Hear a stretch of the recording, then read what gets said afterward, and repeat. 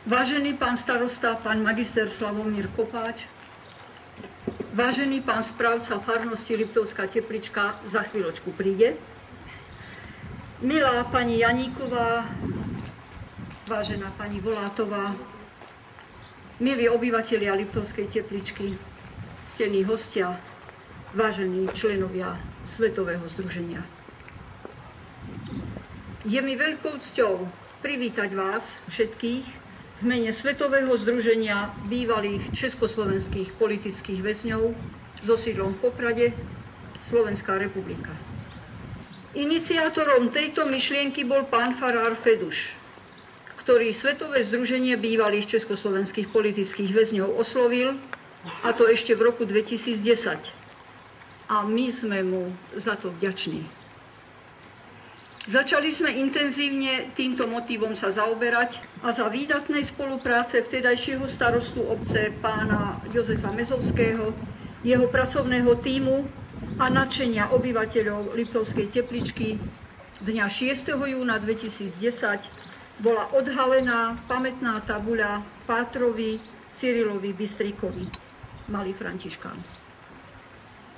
Tejto akcii predchádzala slávnostná Sveta Omša, ktorú v tento deň celebroval pán kaplán Jozef Marhevka.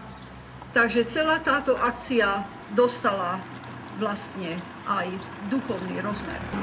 Dovolte, vážení priatelia, aby teraz zaznelo krátke kurikulum vitae Pátra Cyrila Bystrika Janíka, vášho rodáka. Bystrik Janík sa narodil 2. januára 1952 ako najmladší z troch bratov rodičom Antonovi Janíkovi a Márii, rodenej Brezňákovej. Bývali v dome číslo 58, takmer v strede dediny, a jeho staršími súrodencami boli bratia Anton a Alois. Sviatosť krstu prijal 13. januára v kostole svätého Jana Krstiteľa tu v Liptovskej tepličke. Chlapčenský a školský život prežil ako ostatní jeho rovesníci na dedine i v škole. Základnú školu navštevoval v Liptovskej tepličke a po jej skončení študoval dva roky na polnohospodárskom učilišti v Poprade Veľkej. Potom na strednej priemyselnej škole potravinárskej v Modre, odbor vinohradnícko, vinársko, ovocinársky, ktorý ukončil maturitnou skúškou. Po ukončení školy začal pracovať v roku 1972 v Hejniciach, okres Liberec, v kúpeľoch Libverda ako vedúci záhradník.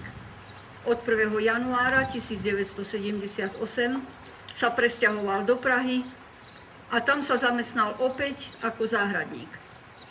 Po štyroch rokoch v roku 1982 sa zamestnal, sa stiahuje do Košíc, kde začal pracovať ako poštový doručovateľ neskôr ako ovocinár v sade na hospodárstve Barca pri Košiciach.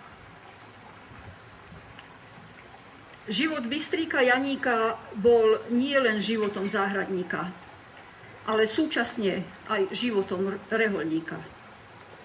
Pravda je ale taká, že to v živote, po rozhodnutí stať sa kňazom, celý život nemal ľahké. Ťažkosť bola o to väčšia v tom, že mu pomerne skoro zomreli rodičia. A pravda je aj to, že sa františkánským kňazom aj stal.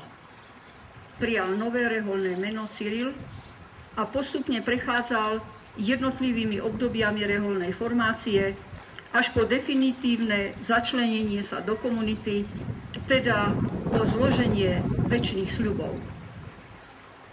Za pomoci kontaktov a tajne pripravenej cesty bol dňa 8. decembra 1979 na sviatok nepoškvrneného počatia Pany Márie v nemeckom Erfurte tajne vysvetený za kniaza.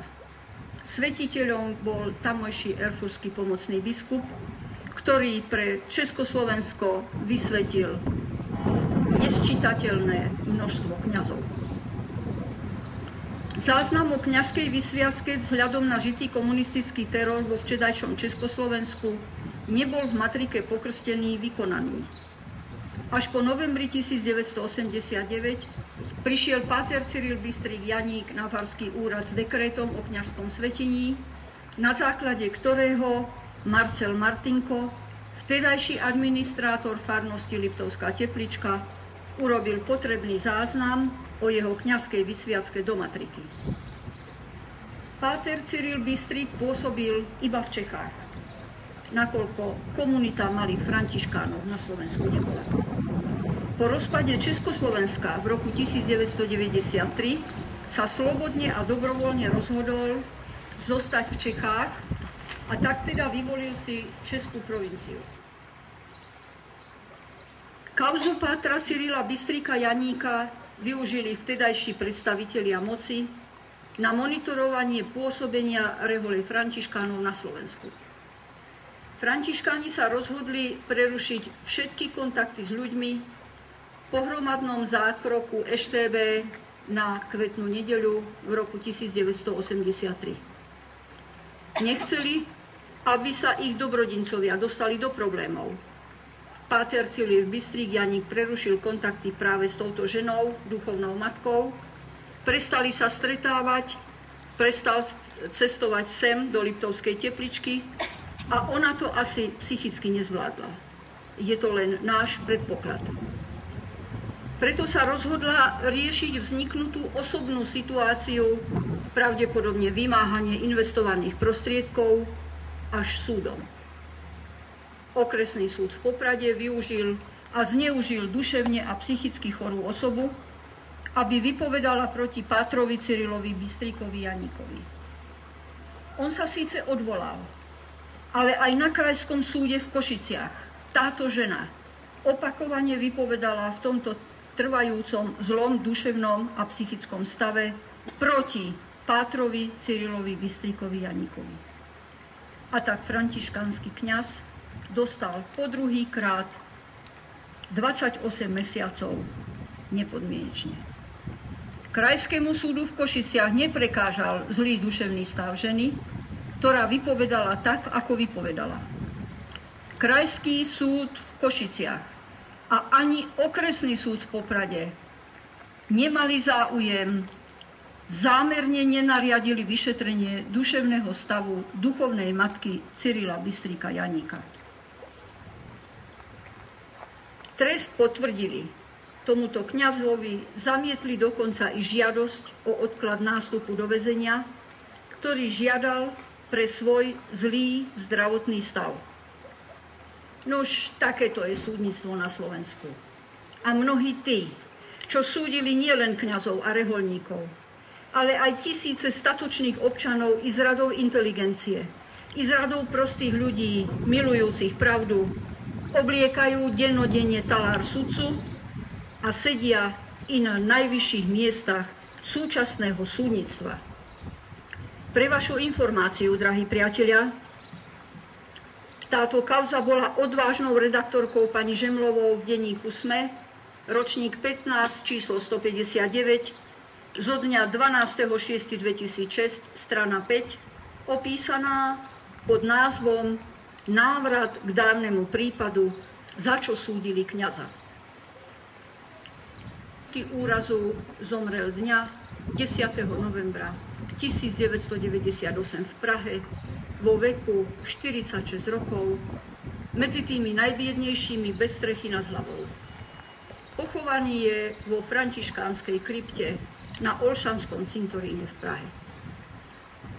Drahí priatelia, bratia a sestry, je preto našou morálnou povinnosťou nezabudnúť na jeho obetu a zasadiť sa o očistenie jeho mena, aspoň in memoriam. Nesmieme zabudnúť na vášho rodáka. Vážené dámy, vážení páni, ctení hostia priatelia. V tejto chvíli si dovolím požiadať o položenie vencov i kvetov k pamätnej tabuli, ktorá vydáva svedectvo o statočnosti kňažského života Pátra Cyrila Bystríka Janíka, ale i o krutosti bezbožného komunistického režimu, ktorý za obdobie 40 rokov väznil, prenasledoval, umúčil, mučil, odvliekol do sovietských gulagov tisíce statočných ľudí z celého vtedajšieho Československa.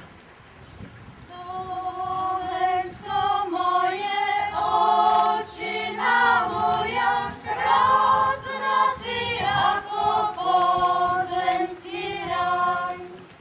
Za obec Liptovská teplička pán starosta magister Slavomír Kopáč.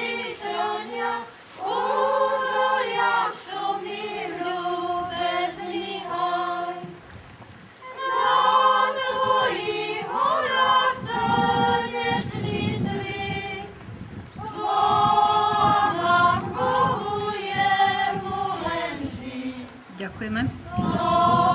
Poprosím pani Janíkovú a pani Volátovú, jediné príbuzné žijúce.